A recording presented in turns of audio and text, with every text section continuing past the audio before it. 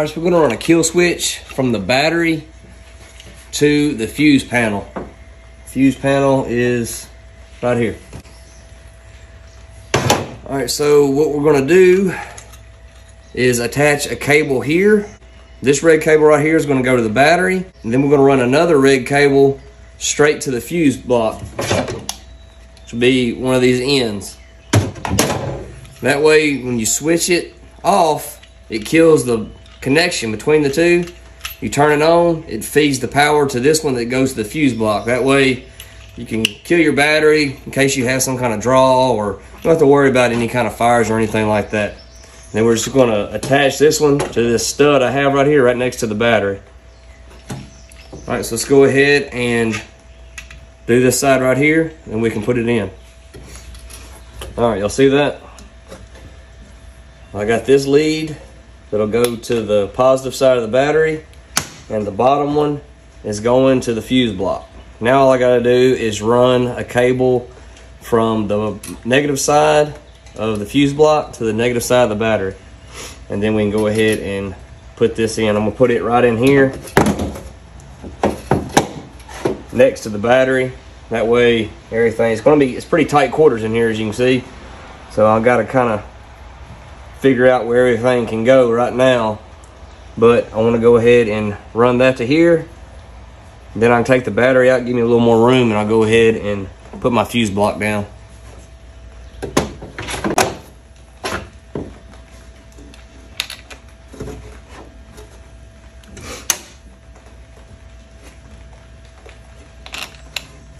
All right.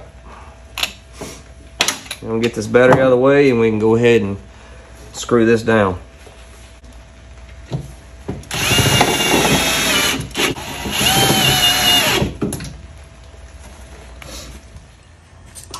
Got some of these little cheapo lights. I want to put one in both of these little hatches. This one I'm going to put kind of in the middle. I'm going to drill me a hole out for the wires to go through. And then just to drill two self-tapping screws to hold the light in place. And then pretty much same thing over here. We'll have to figure out where to put it though because this is cramp, very, very tight quarters on this side. We'll figure it out.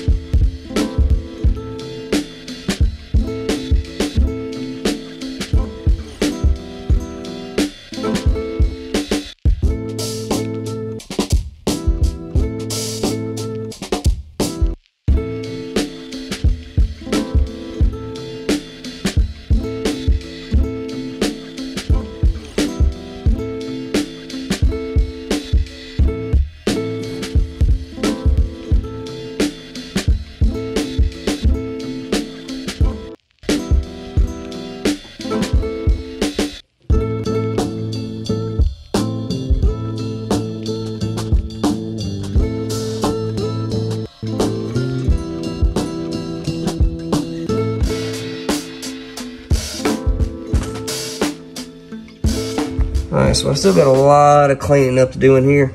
As you can see, it looks like a rat's nest. But everything is wired up that I have on the boat right now. Uh, just to go ahead and I'll give an overview one more time about how to wire a boat up. What you want to do is like whatever your accessory is, say it's those lights right there on the signs, you run them and then the wires that come off of whatever accessory you're putting on, you will run to your switch. Now, like these switches had three prongs. The top prong was like the power, the bottom prong was the ground, and the middle prong is where you put you, you tie in your accessory, whatever you're trying to give power to. Now, if you want all of your accessories to run off of one fuse, that's fine. You just use that one prong. Uh, like this switch was all looped together. All the switches were tied to one. You have like at the very end, you had one red and one black, which you would run to your fuse block. If you want them to all be separate, what you do is where it loops from the red to red, just snip that and then run that red to your fuse block and then the other red that goes to the next switch will run to the fuse block. That way it separates it.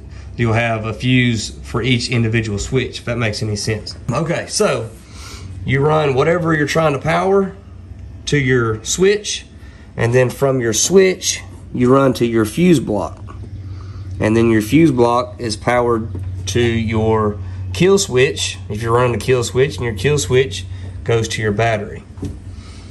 All right, so like right now, see I've got the kill switch off, so I shouldn't be able to turn anything on. See, nothing's coming on. But now, go ahead and turn your kill switch on, giving power to your fuse block. Everything should come on now. So you got a little light on. anchor lights on and my navigation lights are on. All right, this switch should be my little interior lights. That one's working and that one's working. Next switch would be the bilge pump. It's working.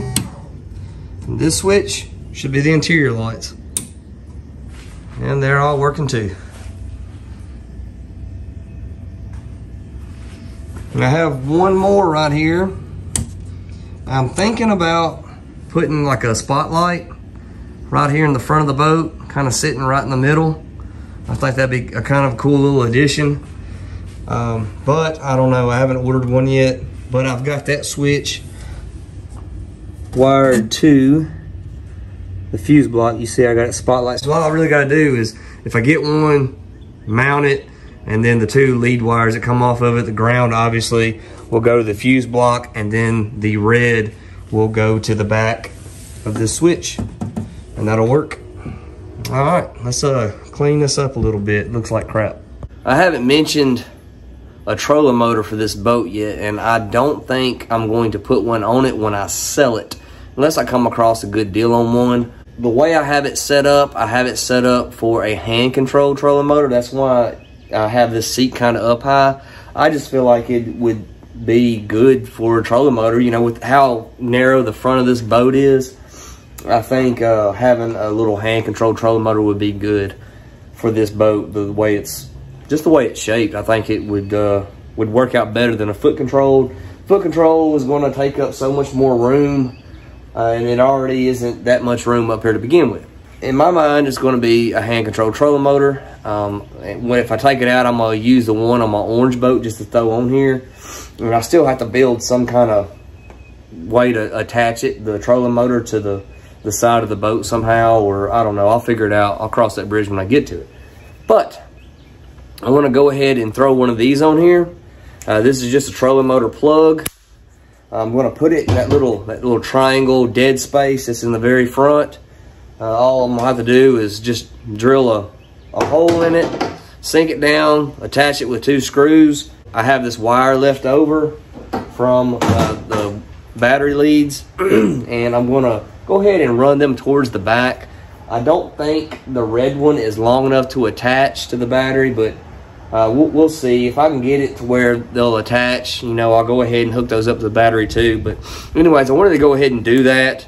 That way, you know, it'll be real clean for whoever does add a trolling motor to this boat.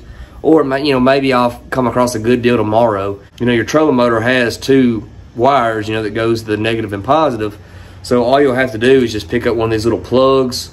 Like that trolling motor on that orange boat, it just has two little eyelets that go over your posts on your battery. So you just cut those off and wire in for one of these little plug-in things. I just I just think it would be a lot cleaner. And not to mention, if you're running a trolling motor like that up front on the boat, uh, you know, you'll have to throw another battery in or something or have that hatch open and it, will just, like I said, it'll be a lot cleaner to do it like this. So let's do it.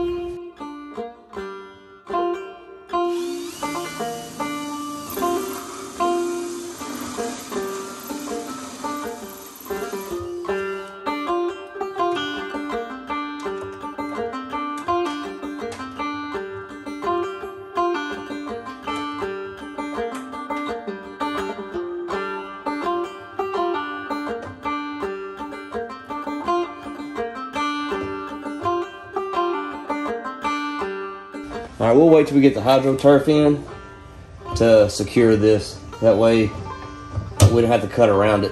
We can just lay the hydro turf, cut that circle out, then attach it that way. It'll be a lot easier on us. But that's gonna work. I think my leads are long enough to make it to the battery too. So cool. All right, if you feel a little uncomfortable doing the wiring on a boat, don't worry, you're not by your lonesome.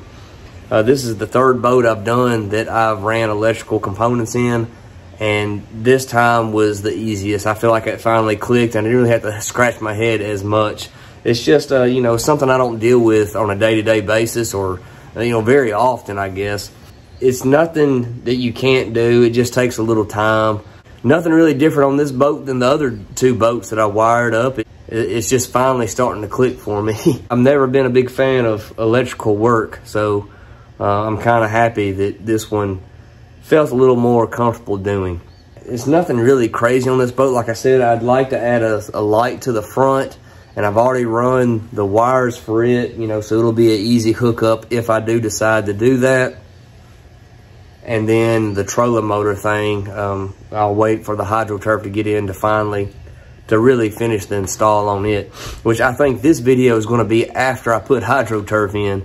So I'm kind of doing these backwards right now. It's been raining. I wanted to do the hydro turf this morning, but it's been raining and I need my driveway. I need to get out there to lay the hydro turf out and mark it and cut it. And that's what I'm fixing to do now because it looks like it's uh, cleared off. This video is going to end, but my work for the day isn't going to end.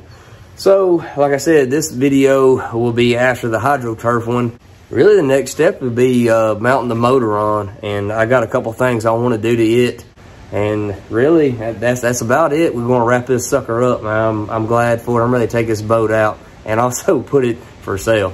All right, guys, I really appreciate it. See you on the next one.